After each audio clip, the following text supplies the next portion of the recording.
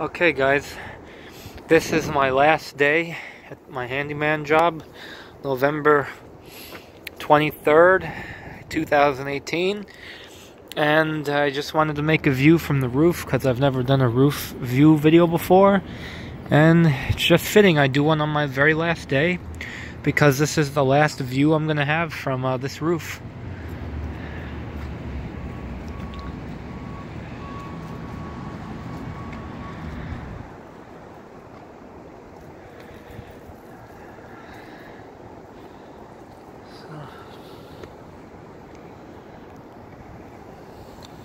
It's been fun. Someone's running their chimney there. I mean, their fireplace. It's been fun for these past three years, and I've learned a lot, but it's time to move on. So,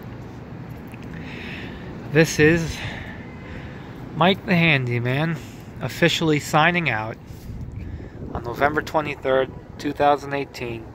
And look at that. The sky wrote an M for me. Alright, guys. Mike the Handyman signing out. Three years in. On to the next job. Okay, guys. Mike out.